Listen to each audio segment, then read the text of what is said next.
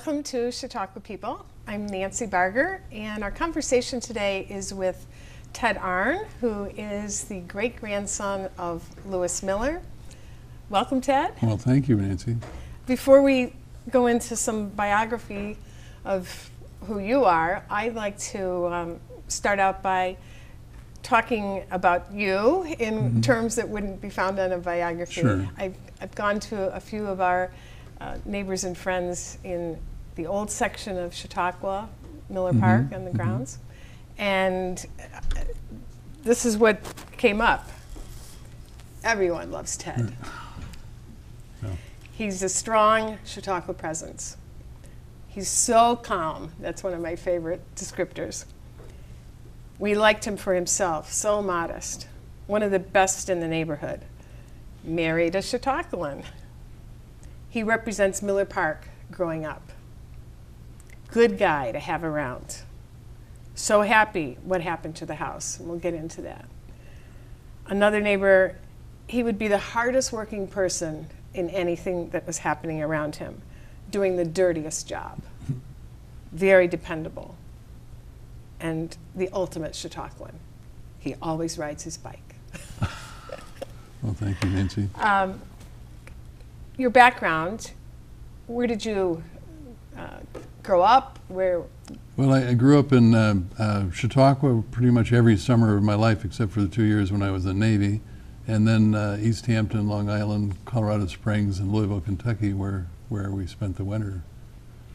And you have an interesting story to tell about your birth certificate. You were born in New Jersey, I understand. I was I was born in New Jersey. Yeah, that was for about a couple of months. That actually I was uh, brought home from the hospital to the Mrs. Edison's house in uh, West Orange, New Jersey, Glenmont.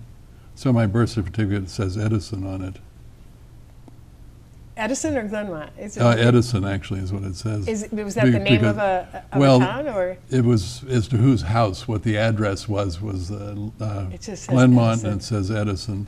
That's So amazing. my, my mother was living there at the time. My father was sick with TB, so he was out in Colorado. So Your father was out in yes, Colorado. Right, right. Well, that's a story. Not many people would be able to claim that. Yeah, that's true. How about your education? Well, I, I went to the University of Pittsburgh, is where I graduated in natural science. A little background of computer science and, and psychology were the two sort of majors. And uh, I certainly know your wife, but uh, why don't you introduce her? Oh, Mary Boyle. She's from Oil City, and uh, they bought they built a house in 2000. Uh, I mean, in, in uh, 1979 in Chautauqua, and became very active with Chautauqua, the family that is. Where are your children? They're in uh, Clinton, New York. One of them is in, and the other one is in New York City, working at NYU uh, Business School there. Both daughters. Both daughters, yes. All right. So let's begin with who is Lewis Miller? Well, Lewis Miller is the, one of the co-founders of Chautauqua Institution, and he and his uh, stepbrother started a company called Aultman and Miller and Company, and then C. Aultman, were also they were both partners in that, and they uh, made farm machinery starting in about the 1860s, and the farm machinery was a sickle bar that uh, uh, was in front of the driver and it articulated, so and it was this was all horse-drawn and um, so that the, the driver, if he fell off, didn't get chopped up in the sickle bar. And so then they made that into also a reaper, a combine, so it would do bales of hay, for instance.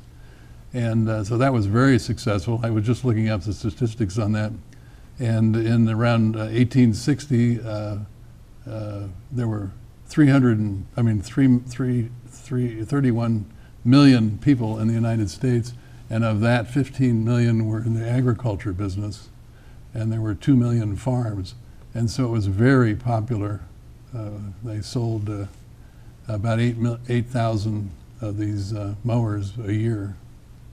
So he, he came from Akron? Akron, Ohio, correct. Yes. And, and he was friends bef- at, before Chautauqua with Vincent, Bishop Vincent? Uh, or? they, he was uh, very much interested in Sunday schools, and uh, the bishop uh, came to Akron. It was the Methodist Episcopal Church, was what it was, and and they were working on trying to help Sunday school teachers uh, be more effective and more well-rounded is when how Chautauqua sort of came to pass. And one of the things that Lewis Miller did was design a church was called the Akron Plan, which actually had a back part which was the Sunday schools, and then the front part of the church was the typical church, but there was a big doorway right behind what would be normally called the altar, and it would uh, uh, open up so that both sides of the church could actually participate in a single event. And that was very popular in that particular period, 1860s and 70s, so they built a lot of those. And as a result, they wanted to fine tune the education for uh, Sunday school teachers and have them have a better, more well rounded understanding of other religions and history and so forth. And that's when Chautauqua, the idea of going away to some place to focus on that. And so Chautauqua was morphed from that into what it is today with the religion, the arts, music, uh, literature, Recreation. recreation. Yes. Four pillars. Well, um, so he he was an entrepreneur. Yes, he had, very had lots much of so. patents or invented Yes, he other did. things, right? 93 patents, uh, and he uh, uh, was uh, also involved with well, the castings for the, the farm machinery as well. And, he started, uh, he was on, uh, it was a Union uh, uh, College in Alliance, Ohio. Was he was on the board of directors there, and that was the first college in the 1860s that uh, granted uh, degrees to women and had a open curriculum. Which was it a totally co-ed new. school? It or was a co- co-ed school Co-ed, and in 1860. It must not be still around. It is. Oh, it It's is? very, very much still around. Interesting. Mhm. So he comes to Chautauqua, and um, he he's married and has children. And how can you make the transition between Lewis and your well-known? Oh, uh, sure. Let's see, this would be your great uncle. Great uncle, yes. Uh, I'll just show you, this is a picture of the, of the cottage that we're going to be talking a little bit about. It is, um, was built in 1875 for the, uh, for the uh, arrival of uh, President Grant, who was the, one of the first guests. Uh, uh, Bishop Vincent knew President Grant, and uh, from a for, former church in Chicago, as I recall. And um, so uh, it was built and prefabricated in Akron, Ohio, at one of the plants using the pattern lumber for the machinery. And they shipped it up here pre-cut, and so it's one, probably one of the first, if not the first, prefabricated house in the United States. Certainly on Chautauqua tours, that's Mm-hmm. the tag that often goes with that, that uh, Mm-hmm. building is the prefab aspect of its construction. Right. So he comes and he builds this for, wasn't it specifically for that visit? It was, that precipitated the construction, but he had 11 children, and so the upstairs of the house uh, was the dormitory for the girls, and the- and they had a tent off to the side, which was the dormitory for the boys, and President Grant stayed with the boys. So that, that was uh, part of the story. And among the 11 children, One was Mina, and uh, she, at 20 years old, married Thomas Edison. And he, his first wife had died and left him with three children. And so, uh, uh, anyway, they, they, she uh, tapped, he tapped out the, in the Morse code, "Will you marry me?" And and uh, she said yes, and so they were married. And they had three children. Uh, and one of them was uh, governor of New Jersey and undersecretary and secretary of the Navy, Charles Edison. And Theodore Edison was a, and I knew all of these people. Theodore was very much a naturalist and was uh, uh, involved with preserving the Everglades and various other. wasn't there some connection? You and I were someplace uh, with Roosevelt or named after, Teddy was named after? Or Well, actually, uh, Th- Theodore uh, Edison was named after Mar- Mina's uh, brother, Theodore, who was killed in this in charge up of San Juan Hill. That's what it was. He had graduated from Yale and uh, was all churned up by the, the that particular Spanish-American War issue, and got one of his friends, Goodyear, to go with him uh, and they went uh, down to Florida and prepared for going to war and went off, and uh, he got shot in the back of the neck with a, a bullet and died the following night. That's the story I, Yeah, I and he was apparently very much of a scholar and really would have, it was a shame that have lost such a talented young fellow. So, how did your mother um, come into the building and, and caretaking it eventually? Wh- How did that Well, her, transition take place? yeah, my, my grandfather was uh, John Miller, and uh, when Mina died, why the house went into uh, So, Mina's so John estate. was one of Lewis's children. Children, Yes, exactly. Okay. And so Mina, uh, when she died, uh, that uh, was in the estate, and so my mother basically bought it from the estate in 1951. And she had come here as, Mhm, a, as a child. as a child, and because her parents had died when she was a teenager. Yes, or- the chronology is that Edison died in 1931, and my mother was around uh, eight years old at the time. And so when Mrs. Edison wanted a companion, and so she came and lived with Mrs. Edison until she was, you know, going to college in Radcliffe. She would come to Chautauqua every summer from that age, and so we always lived in this house. And so she became very attached to that house. And uh, that house has been well taken care of. uh, uh, uh, Hence, I, I think uh, everyone is so pleased that it's now in a new chapter of its life. Uh, your mother, I remember something about her that I, I don't often see. Within the artifacts that were in mm-hmm. here after she died, I believe, or even maybe beforehand too, her notebook of her sketches that Nancy Oh. Arnn did at the back when she would sit at the amphitheater. I mean, she was talented, and Yeah, she she was. documented all these programs that she went to. I, I'll never forget that, and I'm sure it's among some of the things that sure are being that are kept. there. The one thing a lot of people don't realize that is about 90% of the furniture, furnishings and the books on the shelves were all original from when Mrs. Edison had it. Mother was very uh, uh, adamant about keeping everything uh, the same, I mean, upgrading it and replacing it, but always with the same type of material, the upholstery for the couches and so forth in there, uh, managed to get those once again uh, because they were available, that would had to get them from London. And unfortunately, the last time around, they weren't available, that particular pattern, so. I remember in the kitchen, uh, Mm-hmm. the Tree and Garden Club, little white and green trim dishes. Mhm. What are some examples of other artifacts that you Well, when remember that are there? Mrs. Edison had an inventory done in 1930, uh, 1925, I should say. And uh, on that inventory, when we were uh, turning the house over to the institution, we literally went through everything, and including all the books. The bo- all the books are catalog- cataloged and in the database, and there's about 398 books that were all original there.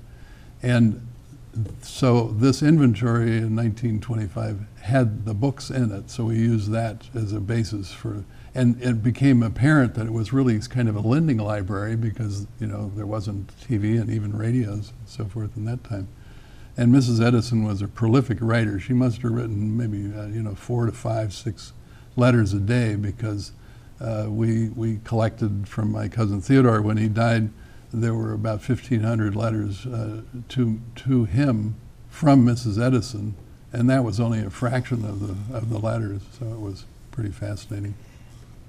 I, I think the Edison Cottage is as close as we come on the grounds to a museum That's, because the archives are, are, are, are have many historic uh, papers in them. But this this would be as close as we have as a museum. Would you agree? The the one, the one, yes, absolutely. The one thing that is um, unique about this building is that of the, the amount of contents are original, ninety percent, as I mentioned. And Glenmont, which is the Edison's home in New Jersey, is a similar because uh, uh, Mina, uh, cousin, when she died, cousin Charles gave Glenmont to the National Park Service, lock, stock, and barrel, down to all the dishes and plates and everything. And uh, uh, then Mina, before she died, uh, gave uh, the house down in Fort Myers, which is called Seminole Lodge, to the city of, of Fort Myers. And so it is all original. So, of some famous person in the United States to have three of the houses that they lived in that are pretty much all original is pretty unusual. Th- That is unusual, and I'm sure some of the people watching this have been to those. Those uh, other places, Those other places. Um, Tell me a little bit more about the descendants of these um, integral people at Chautauqua. I- You have some cousins who are around, I think? Yes, my cousin Dick Miller, who used to be the chairman of the board and the, and the foundation, and he did a marvelous job with He sure Chautauqua in that time frame, Yeah. and uh, is dedicated to Chautauqua. And your sister? Sister, my sister Kim will be here this coming weekend, Oh, great. and she'll be here for the rest of the season, and she's a longtime Chautauqua kid, and my other sister Mina unfortunately died in tragic circumstances, but she was always uh, here taking care of the cottage as well. She sure was. I remember Both Mina sweeping that front walkway every day, Yes, faithfully, faithfully. Yes, she would. So, so we're entering this um, new ownership Mm-hmm. of the the cottage, and how did that come about? And I, I I'm sure for years, many Chautauquans were hoping something like this would, Mm-hmm. would happen, and the burden of being the caretaker wouldn't be all yours. What Oh. happened? Well, uh, uh, Tom Hagen came forward. He wanted to take a look at the house, and so I gave him a tour of the house one time after the season, and he was um, he was amazed at how much of the house was all original, and that's what uh, I guess uh, encouraged him to give it to Chautauqua. It was which, which was an absolute mar- marvelous gift. And Tom, a, a former economic development director of Pennsylvania, Right, right. Erie um, resident, prominent Mm-hmm. citizen who, with his wife, had done Yeah, many Susie, oh yeah, they've done some wonderful things for some Chautauqua. wonderful things. And what are the And, uh, plans, or what's been executed so far with his plans? Well, they, last year they had a fundraiser which to raise money to redo the garden, which is a significant garden because it was done by a, a lady uh, landscape architect, Ellen Biddle Shipman, and she did uh, houses for the Astors, the, the Vanderbilts, and uh, her mentor was uh, Olmsted, who was the one who uh, designed Central, Olmsted. yeah, Frederick Law Olmsted, who designed Central Park. And so she was, uh, uh, uh, uh, did a beautiful job, and it was in 1922 is when she came up with the design, uh, and those documents are all at the Chautauqua Archives. And, uh, and then Mrs. Edison, of course, wasn't a wilting violet, being president of the Bird Tree and Garden Club. So just because Ellen Biddle Shipman decided that the garden should have this plant here and that, so I think she probably adjusted a few things, knowing knowing her. And um, so uh, as a result, we even have the bills from when they uh, originally, uh, the original planting bills, so that uh, uh, Betsy from the Chautauqua Institution, marvelous lady, had tho- that documentation as far as restoring the garden.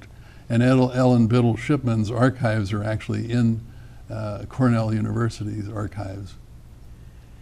Yeah, I remember the presentation about what a strong um, uh, woman she was, and, Mm-hmm. and Mina, in her own right, uh, working with somebody like this. And What what's entailed? I think some people were a bit shocked uh, when they saw some of the landscaping that had been there that had grown up through the yes. years, and it all of a sudden it had disappeared. What what?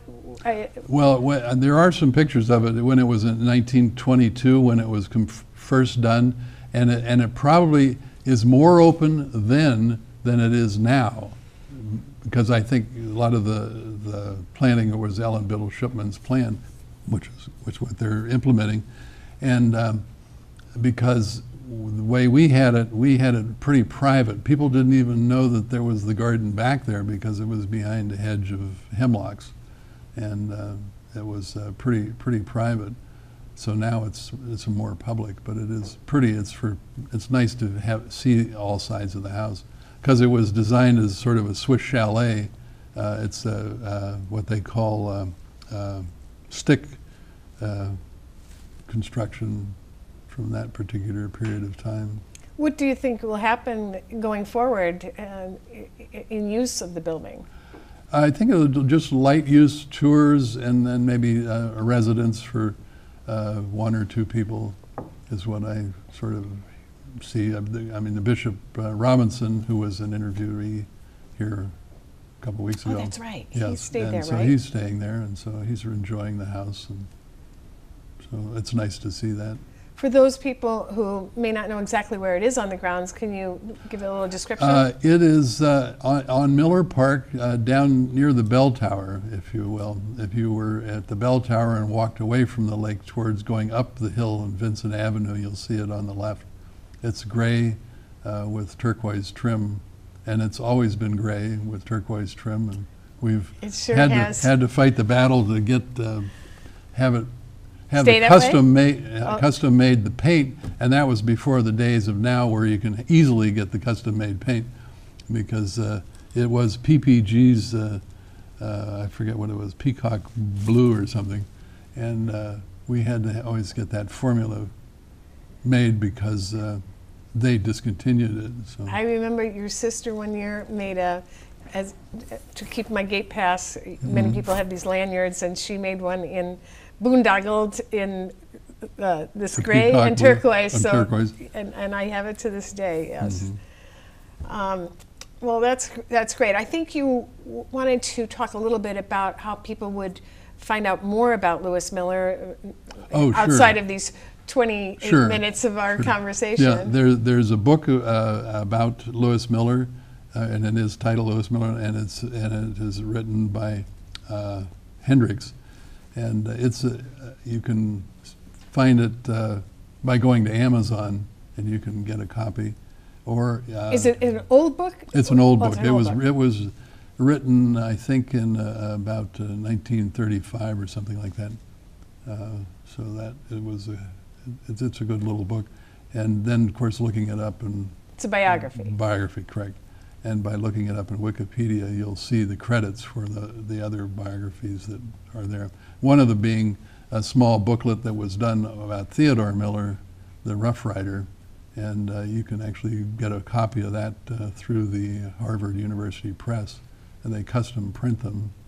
Uh, but So if somebody goes to the Oliver Archives, uh, Mhm, they would have a copy to they take would a have look a at. copy there. And the Chautauqua Library would also have copies of both of those. What's it like to be a, a descendant of these famous people? I mean, Well, it's it's a little uh, trying to live up to this is a, is a, with all the accomplishments that they all made. I mean, cousin Charles was the head of uh, Thomas Edison Incorporated, and then they merged with McGraw Edison. He was the chairman of the board of McGraw Edison, for instance, and and my cousin Theodore. Why, of course, he was all uh, off into uh, the uh, nature and was involved with the Everglades and, and the Nature Conservancy. He was one of the co-founders of that, although he never wanted to take any credit for anything. He, he, they, were- they were sort of polar opposites. And then my Aunt Madeline, she was always very, very active with the Red Cross as far as that particular side of the family. and mine had something to do with saving the Athenaeum through. Yes, she did. Uh, during the Depression, she uh, uh, uh, essentially bought the bonds for the Athenaeum Hotel, about $100,000 worth of bonds. And so she did uh, uh, save the institution. Uh, for that, kept the, kept the hotel as part of the institution. What else have we not covered? There's so much in history we could talk about. Any, uh, take any tangents we want to. Um, I mean, I think we covered that your, your mother uh, and your sisters certainly, and all of you took care of it. I, I mean, to me, Oh, Ted, yes. you are uh, the person who always anything that needed to be done in Miller Park, you had a toolkit and you knew exactly where the it, right yeah. tool was to fix it. And Well, that's, that was one of the, the keys to trying to keep the place going was, was uh, the maintenance of the it, maintenance, obviously. absolutely, yeah. And so we, we, uh, when I was in England one time, I found a book about uh, uh, taking care of historic homes, and that was really a fascinating book and to, to use it to try to keep things. Uh, And Miller Park, of course, being really the original mhm. um, platform for Chautauqua, where the stump was, and s- Mm-hmm. Right. speakers, and uh, to this day, people are maintaining uh, the integrity and Mm-hmm. Of the architecture. of the architecture right there facing the park, and Yes, we, we had some of the, the railings remilled and, and uh, some of the boards in that house are, you know, different thickness, so I had those all custom made and had some extras that are in the shed in the building. So we had to try to keep it all original and ward off any potential problems in advance. And no problems that now you and Mary live um, outside of Miller Park, but In a, in a more modern building, in a more modern building, yes. So, so, but it is nice to see Chautauqua have it, and it'll be, it'll be fun for people to see as they, as time goes on. Absolutely. What do, what do you enjoy doing? I, I recall um, actually in talking with our acquaintances um, that you had for years crewed on uh, Bob Wilder's. Uh, Oh, flying- lightning. Was it lightning? Lightning, and then Bob Eckhart's uh, uh, Flying Scot. So yes, sailing was a big part of. But and I didn't too. remember that you had been a counsel, uh, a sailing instructor. Yes, I had for I one forgot year. that. I knew you. uh, I One of the best jobs I ever had. I think a lot of people could say that. Yes, it was great. And what else have you done around the grounds? What, what do you enjoy uh, yourself personally? Well, the lectures and the, and the symphony and like the youth symphony tonight will be fun to see what they have to say and Yeah. play. yeah. So that's good. And where do you live when you're not uh, on the grounds? In Pittsburgh, and uh, so we stay there and come up here on weekends sometimes in the winter. So it's it's it's a nice commute. It's not too As it's becoming more of a year-round it is. uh, it is. place, more and more, you're in a winterized. Mhm. I A remember. winterized house, I yes. remember going to a Halloween party in this cottage. Oh yeah. do you remember we did that? Oh, we did that. Yes, we had a good Halloween party. It was probably one of the best dress-up parties I ever saw. That was a great time, uh, and still the, the facility survived. It did survive, When I look back at it, I think, How did it survive? how did you invite all those people and not worry about the? Uh, Yes, I think there was 30 or 40 people in that living room. yeah. Yeah, it was it was good. It was a lot of fun, and then everybody was so inventive about. Uh, and then we also would have uh, in May would roll around and we'd have a derby party, and everybody'd all I get remember all you- dressed up. and- That's right. Your and we'd Kentucky make mint background juleps. of making Yes, we would. juleps. We'd make ju- mint juleps. The, the all the original way even had some silver cups. yeah. Some people were lucky enough to get the silver ones, and some people got the plastic silver You have ones. honored the Edison Cottage uh, over and over, and it's my real pleasure to have you uh, as a guest on Chautauqua People. Thank you very well, much. thank you, thank you, Nancy. It's been fun.